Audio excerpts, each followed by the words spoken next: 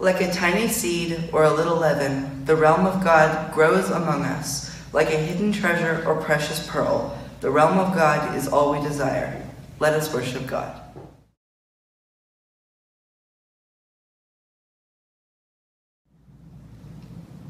Do you not know that all of us who have been baptized into Christ Jesus were baptized into his death? Our old selves were crucified with him so that we might be slaves to sin no more. Trusting in God's grace, let us confess our sin. O Lord our God, we confess that we do not reflect your glory. We devote ourselves to small things while you work for a greater purpose.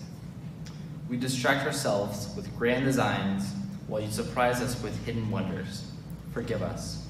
Restore and reorder our lives by the grace of our Lord Jesus Christ, so that we may know your will, seek your way, and share your work, to the glory of your holy name. Amen.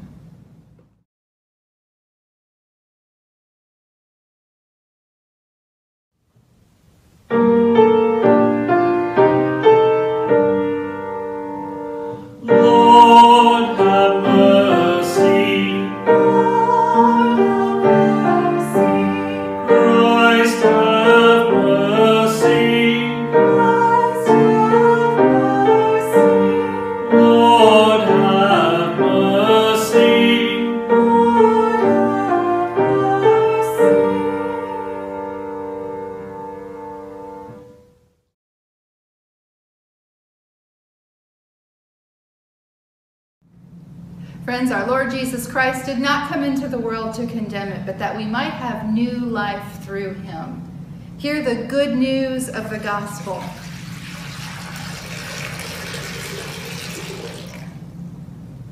Through the power of Jesus Christ, and made known to us in the waters of baptism that reconcile us to God and to neighbor, we are forgiven. Alleluia. Amen.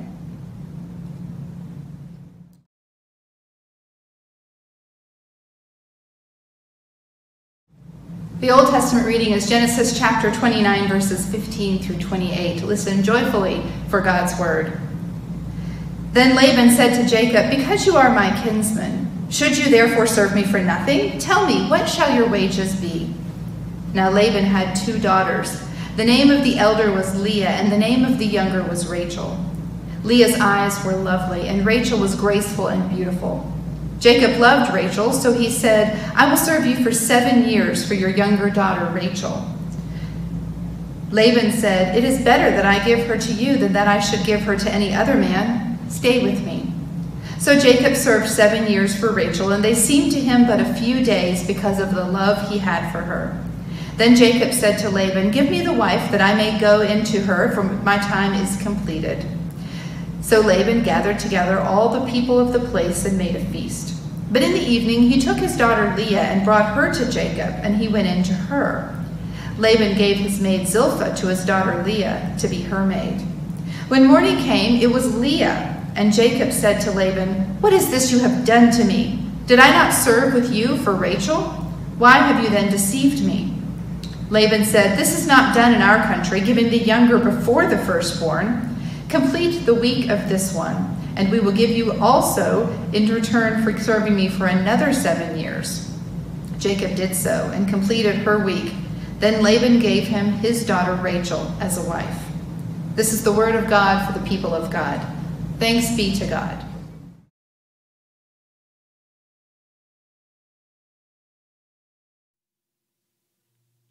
Oh, thank the Lord, call on his name, his deeds declare to all. Oh, sing to him, sing praise to him, recall his wonders all. Let hearts that seek the Lord rejoice, his holy name adore. Oh, seek the Lord and seek his strength, his face seek evermore. Remember all his wondrous deeds, the works that he has done. the righteous judgments of his mouth, his miracles each one. O you, the seed of Abraham, God's servant, you his sons, and all whose sons of Jacob are his own, his chosen ones. He surely is the Lord our God, his judgments fill the land. He keeps in mind his covenant that it may always stand.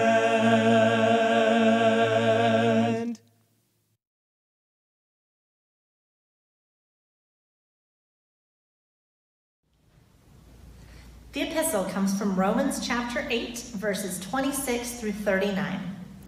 Likewise, the Spirit helps us in our weakness, for we do not know how to pray as we ought, but that very Spirit intercedes with sighs too deep for words. And God, who searches the heart, knows what is the mind of the Spirit, because the Spirit intercedes for the saints according to the will of God. We know that all things work together for good for those who love God and who are called according to his purpose. For those whom he foreknew, he also predestined to be conformed to the image of his Son, in order that he might be the firstborn within a large family. And those whom he predestined, he also called. And those whom he called, he also justified. And those whom he justified, he also glorified. What then are we to say about these things? If God is for us, who is against us?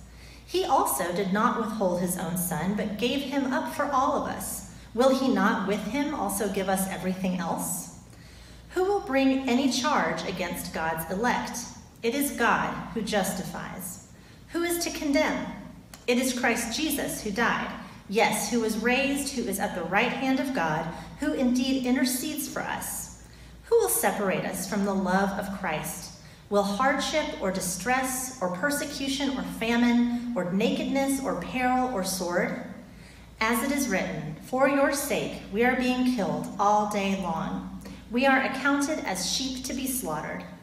No, in all these things we are more than conquerors through him who loved us. For I am convinced that neither death nor life, nor angels nor rulers, nor things present nor things to come, nor powers, nor height, nor depth, nor anything else in all creation will be able to separate us from the love of God in Christ Jesus our Lord. The word of the Lord. Thanks, be, to God. Be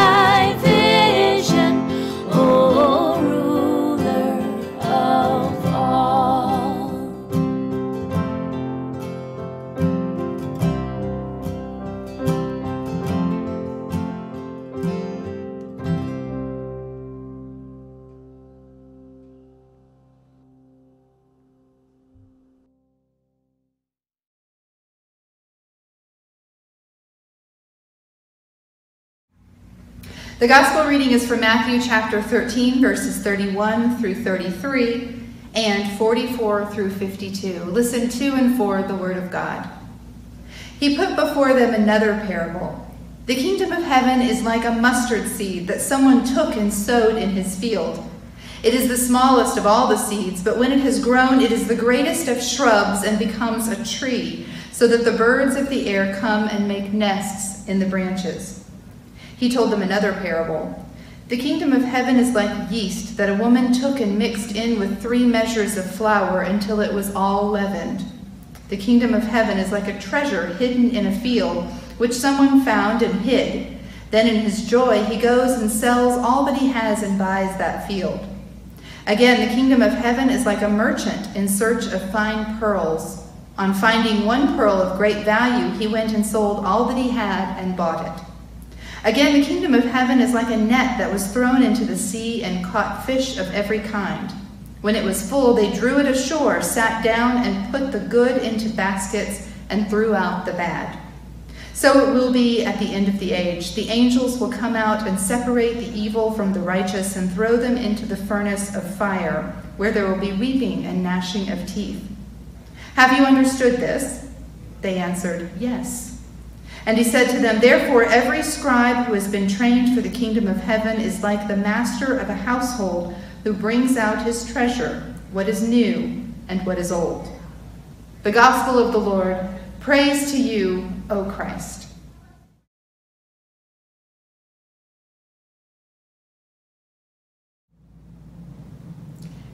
In the first home that my husband and I purchased together, the backyard was overgrown and messy. And as I began to decide what I wanted to keep and what I wanted to tear down, I had my mom come over and tell me what I was looking at because, as I told you last week, I can't identify plants. And she pointed out one tallish shrub or shortest tree, I'm not sure which you would consider it, and she said, I'd get rid of that one right away. Now, this tree had kind of feathery leaves on it, and it had a neat little bloom, and I thought it was pretty and so I didn't cut it down the way that she suggested. I cut things around it, but I left this one growing because it had these pink blooms and I thought it added color to my backyard. And that was a mistake. See, this tree, shrub, whatever you call it, then began to drop babies all around it, and soon my entire yard was covered in little feathery trees. Uh, if you know gardening, you may have already guessed this was a mimosa tree.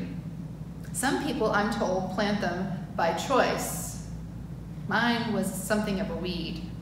And I wished forevermore that I had taken her advice and cut it down when I could because this thing just continued to grow. And not only that, but it continued to scatter. And so not only did it get taller and thicker, but then there were babies that grew all over that were impossible to mow around and the whole backyard just got taken over by these.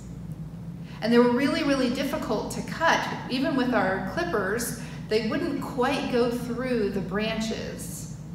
And so we had these nuisance trees in our backyard. As I read this morning's scripture, I thought of that mimosa tree. Because that mimosa tree, I suppose, was some was beautiful. I suppose there are people who would want them. I left it because I thought it was attractive. But the truth was it was a nuisance, a quickly spreading nuisance. And so it is with the mustard seed. The mustard seed is a quickly growing nuisance of a plant that scatters and reseeds itself and gets tall and out of hand quickly. In Jewish culture, it was actually, in some places and times, it was illegal to plant mustard seeds because of the way they took over and overtook the crops and were so difficult to contain. This parable tells us that the mustard seed begins with the smallest seed and yields the largest plant. And the truth is, you've probably seen a mustard seed. It's not the smallest seed I've ever seen. And although it does get quite large and thick, It's definitely not the largest plant that I've ever seen. And so it begs the question why the mustard seed? Don't all tall plants start as a small seed? Why the mustard seed? Why did Jesus choose the mustard seed for this parable? And I think some of it has to do with the nuisance quality of the mustard plant. Those hearing this out of Jesus' own mouth would have been very interested because the mustard seed was such a nuisance of a plant. They would wonder why has Jesus chosen to compare us to this? And although he calls it a large tree, in some translations it, is, it says shrubbery. Because the truth is, it is nothing more than a shrubbery. And as I say that word, all I can think of is the scene in Monty Python where they're asked to bring a shrubbery and they all say, A shrubbery? A shrubbery?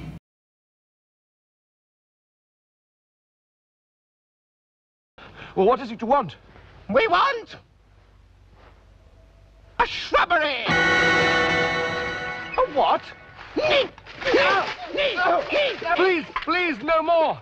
We will find you a shrubbery. You must return here with a shrubbery, or else you will never pass through this wood alive. Oh, Knights of Ni, you are just and fair, and we will return with a shrubbery. One that looks nice Of course. and not too expensive. Yes. Now, go!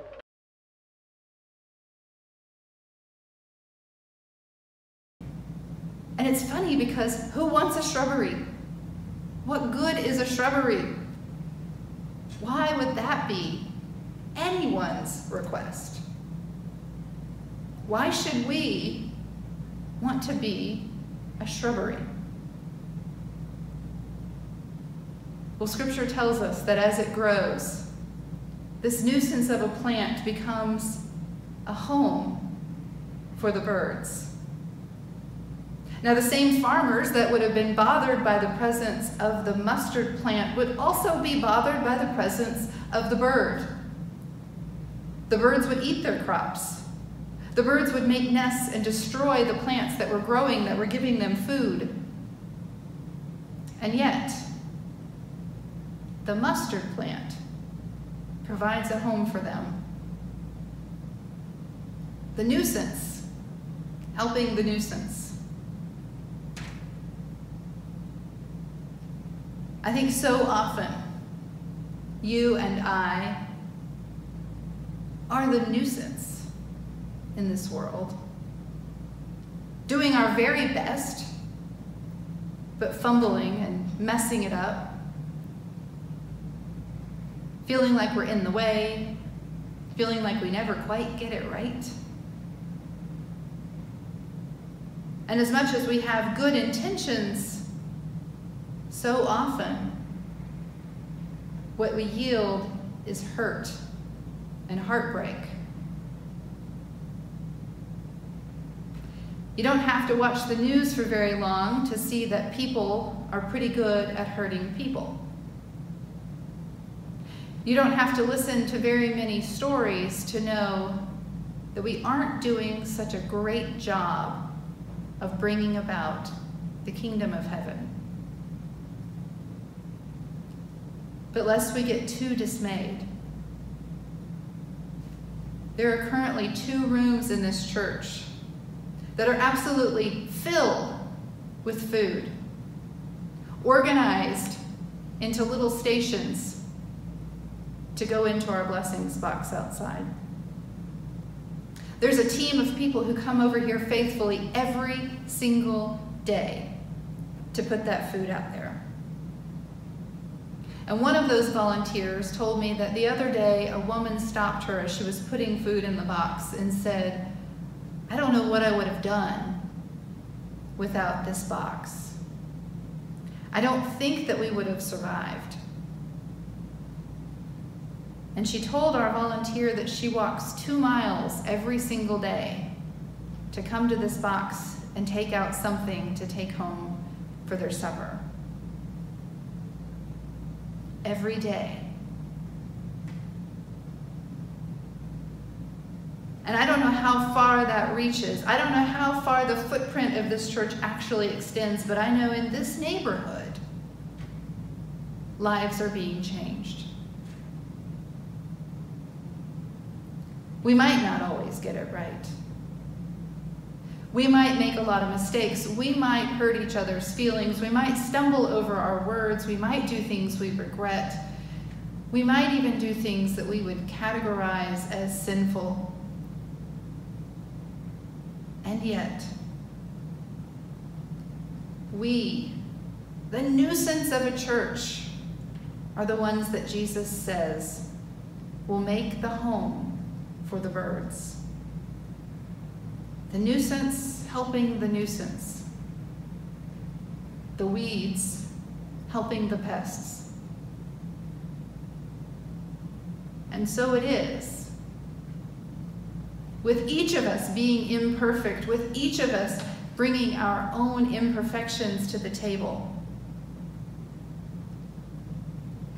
When we spread out our branches together, we make a home for those who are misplaced.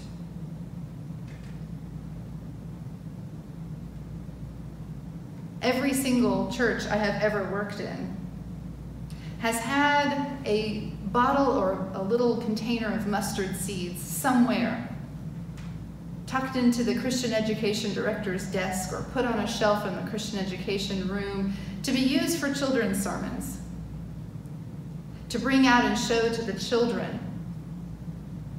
tiny mustard seed can become a plant so big. And I think sometimes we teach the kids that it's all about getting that kind of faith. That you may not have it yet, but if you could just develop just this much, this much faith, as small as this mustard seed, then you too could grow big enough and strong enough in the church to help people. You too will grow big enough and strong enough to inherit the kingdom of God. Only sometimes I look at those little seeds and I think, I don't know. The truth is, I'm not even sure I can accomplish that much faith on the hardest of days. And it would be hopeful if I was sure I could always scrape up that much faith, but there are times when I'm just not sure. But I think it helps to look at the original text. Now, if you get really language geeky, you will see that the tense is assumed. It's not if you have faith the size of a mustard seed, but it's if you have, and you do, have faith the size of a mustard seed, then you will grow into a mighty mustard plant. Church, we already have the seeds. We already have all that we need to sprout into the mighty nuisance of a plant. And so now, now we sow those seeds and we watch them grow. We watch them spread and we make room for the birds. The nuisance, helping the nuisance. That is the kingdom of God. The imperfect working alongside the imperfect. The sinner serving the sinner. Church, we have faith the size of a mustard seed. You may not realize it. You may not feel it. But Jesus assures us we have that little bit of faith already. And so now it is time to let it sprout. Even in the midst of a pandemic, even in the midst of civil unrest, even in the midst of an election year that is dividing the country, we have faith the size of a mustard seed. Jesus assures us of that much. And now that little nuisance of a plant will grow and it will make homes for the birds. May we always continue to be as nuisancey as the mustard plant. And may fellow nuisances find their homes in our branches. And may Jesus Christ lead the way, now and forevermore. Amen.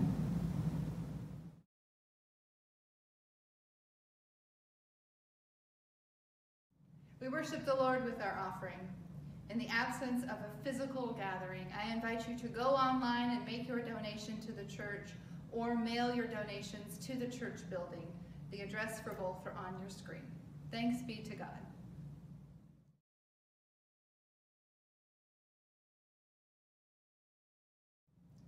Friends, our life is short, and we have precious little time to gladden the hearts of those that travel the way with us.